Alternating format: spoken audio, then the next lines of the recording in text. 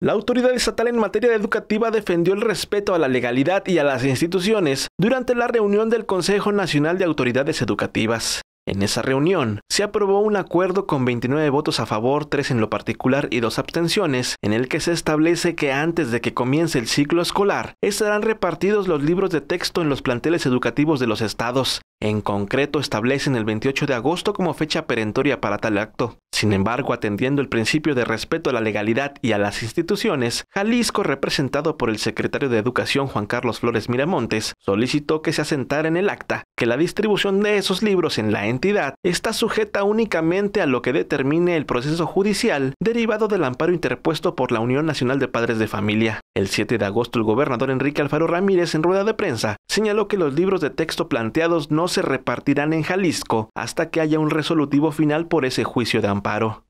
Con imágenes de Israel Carvajal, Eduardo Aristeo Chávez, Jalisco TV Noticias.